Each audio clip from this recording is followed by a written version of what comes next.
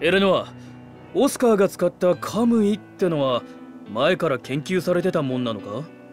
私は巡察官なので兵器開発のことは分かりませんが極秘の研究部門の存在は聞いたことがありました。王国各地から様々な文献や古文書が集められ解読が行われていたそうです。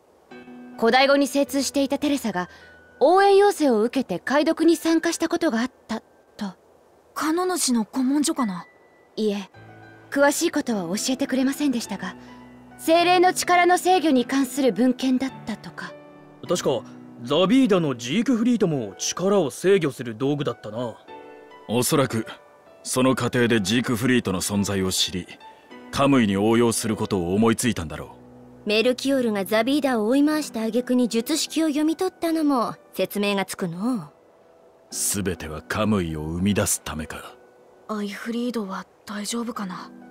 未完成とはいえカムイが実戦で使われた以上アイフリードにこだわる理由はなくなったな。急いでタイタニアに行こうアイゼン。僕も船のこと手伝うよ。なあ急ぐぞ